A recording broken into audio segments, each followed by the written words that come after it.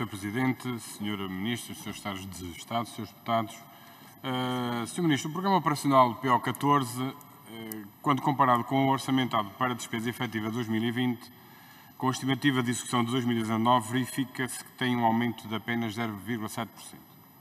Estamos efetivamente perante um orçamento de Estado muito preocupante para a educação.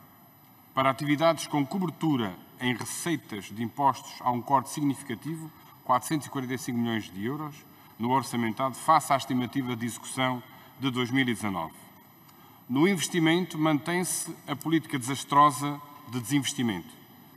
O investimento previsto para 2020 é 35% inferior ao de 2015. A taxa de execução tem baixado desde 2016 e em 2019 mantém um histórico que o devia fazer corar de vergonha. A estimativa de execução para a totalidade do ano 2019 é de 45% do orçamentado. A desaceleração da, da, na requalificação e investimento na parque escolar revela uma redução drástica, com uma estimativa de execução de uns meros 60%. O investimento na requalificação em 2019 reduziu 58% face a 2015. Na anterior legislatura não foi feito qualquer investimento para a substituição do parque tecnológico escolar, com agravante de que o rácio aluno-computador piorou. A famosa agenda digital de António Costa traduziu-se para as escolas na perda de 28% dos computadores na degradação do material. A percentagem de computadores antigos passou de 64% em 15-16 para 85% em 17-18. A maioria das escolas deste país estão cheias de tralha informática completamente obsoleta. Mas é com esse material obsoleto que se quer fazer a transição digital, a mudança do paradigma do ensino para a flexibilidade curricular a melhoria das competências na recolha, no tratamento, na análise da informação, na promoção de competências digitais dos nossos alunos, o desenvolvimento de centros de recursos digitais.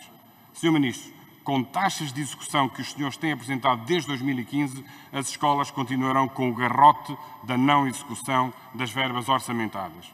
Nas escolas pode não haver do décimo que chegue para pagar o aquecimento, o papel, a água, a eletricidade, mas o gabinete do Sr. Ministro tem um reforço de 461 mil euros. Sr. Ministro, é preciso que se criem condições orçamentais e financeiras para que as escolas possam funcionar melhor. É preciso acabar com o ritual ridículo das propostas de orçamento que as escolas enviam para o seu Ministério. Para quê, se nada muda? Para que se praticamente o orçamento que vem no ano seguinte é um copy-paste do anterior? Orçamentem de acordo com aquilo que as escolas pedem. Os diretores não inventam despesa. Uma escola não são só manuais escolares gratuitos e reutilizáveis, transportes, flexibilidade curricular e taxas de abandono. Uma escola também tem despesas de funcionamento para as quais os senhores diretores não têm verbas disponíveis e por isso têm de andar a bater a, porta e mais algumas e pedinchar o que por direito constitucional devia ser rapidamente disponibilizado.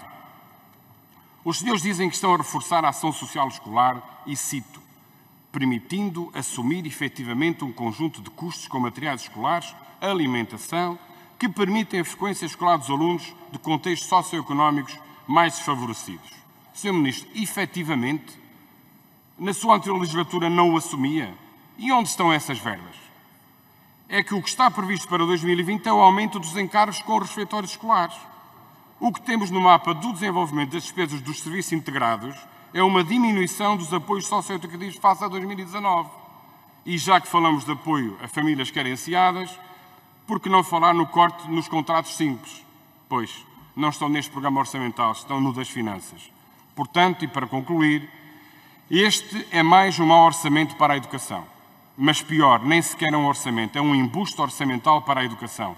É bom que todos os senhores deputados desta Casa tenham consciência de que o documento que analisaram é meramente um exercício de contas ficcional. Concluir, passou a ser hábito, e concluo já, Sr. Presidente, passou a ser hábito os senhores deputados da defunta geringonça aprovarem e aplaudirem as intenções de investimento público que sabem que não vai ser cumprido, que não é concretizado, não é executado e que é adiado.